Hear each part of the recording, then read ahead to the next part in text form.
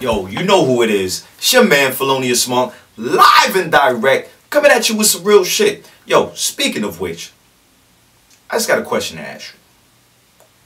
What is gay? Oh, oh, oh, motherfuckers got nervous now. When I say that word, it's a lot of different responses gonna come out from that. Now, I mean, you have some people, it's the destruction of the very fabric of the United States of America. Really? Let me ask you a question. If 50% of all marriages in the United States end in divorce, is that because somebody else is gay? Fuck out of Dodge. Do you even know where Dodge is? If you find out where Dodge is, GPS your way out. You, are you serious right now? You got gay people in every facet of life. In the military, in the government. Gay men, openly gay men, get voted into United States Congress. They're good enough for that. Not good enough to get married though.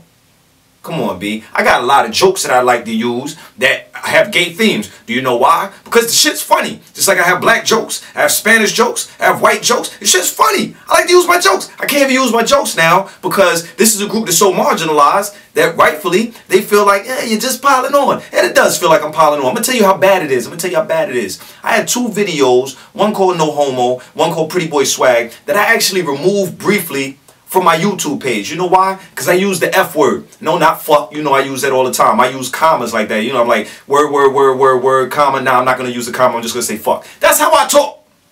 But offends you, you already know what to do. X, X. Do whatever you got to do. But I pulled them down. Not because I thought that they were slandering gay people, but because I knew that gay people would be offended. And not because they're ultra sensitive, but because they're at a point in their history where they're not accepted publicly. You remember this before if you were black, which is funny because a lot of black people are more homophobic than anyone else.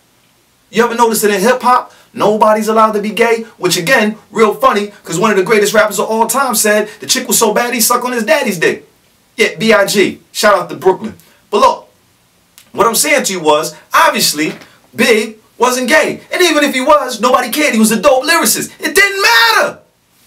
Now, though, now you got rappers that are scared to say anything or dress anyway because somebody's going to call them gay. So what the fuck if they are, B? You can't legislate morality. You can't legislate people's personal choices. It doesn't matter. Here's what's funny about it.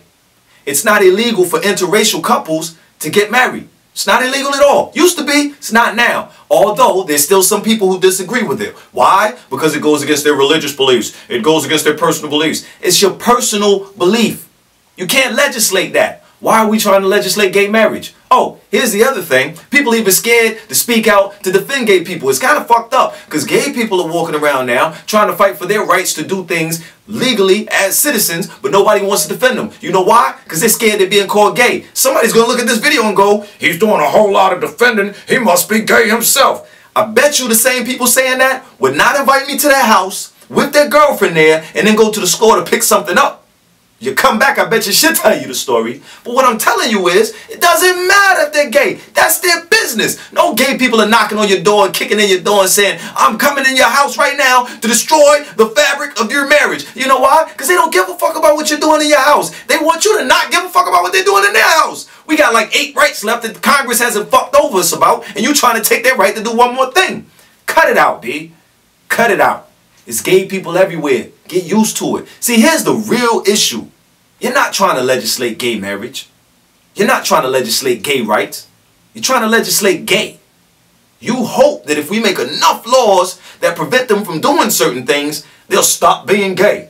Good luck with that. Stop it, man. It's just corny, man.